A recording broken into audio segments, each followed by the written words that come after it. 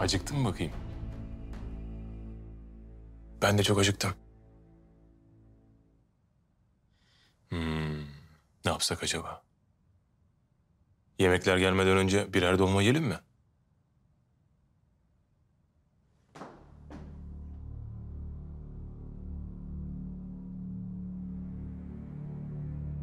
Eğer yakalanırsak ben üstleneceğim.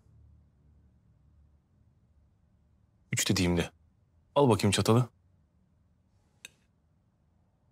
Bir, iki, üç.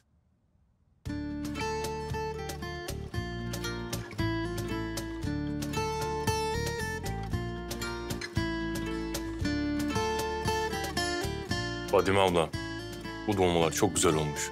Her zaman lezzetli yapıyorsun ama bu sefer farklı olmuş. Eline sağlık. Cihan Bey dolmaları ben yapmadım ki. Aa,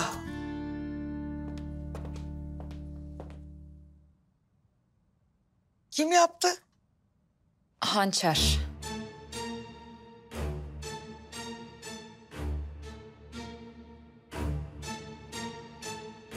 Sindirenle mi yaptı?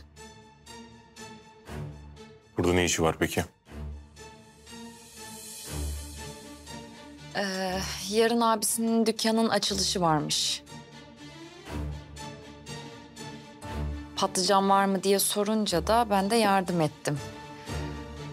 Pişince de Mine de yesin diye gönderdi sağ olsun.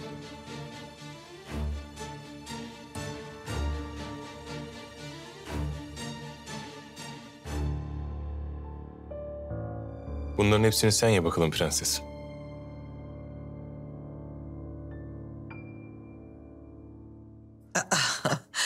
Mine hepsini yiyebilir mi?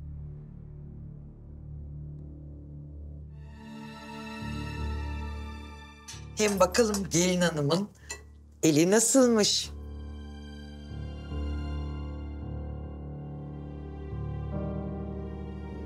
Oğlum sen de sevdim dedin. Yesene.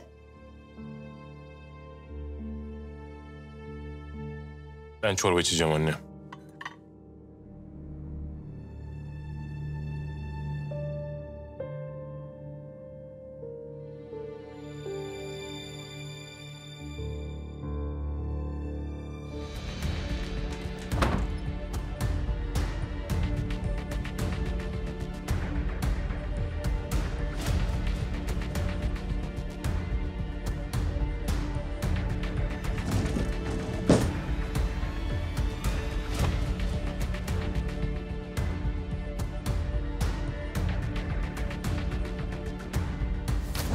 Hem Hançer çok gururludur.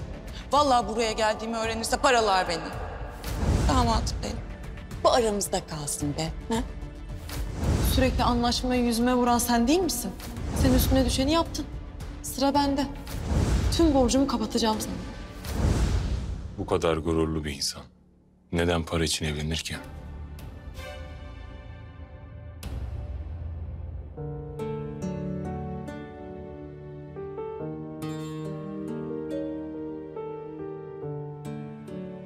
Metin öldükten sonra bize çok kol kanat geldi. Hiçbir şeyin eksikliğini hissettirmedi. Tamam bir babası gibi olamaz sonuçta ama amcası olmasaydı Mine bu kadar mutlu bir çocuk olamazdı. Cihan kendini açan biri değil. Yani zamanla yavaş yavaş açar kendini. Vallahi bugünden sonra pek öyle düşünmüyorum ben. Mevzu sen olunca her şeyi yıkar geçer gibi geliyor bana. Benim tanıdığım Cihan başka bir Cihan. Ve ben ona borçlu kalmak istemiyorum.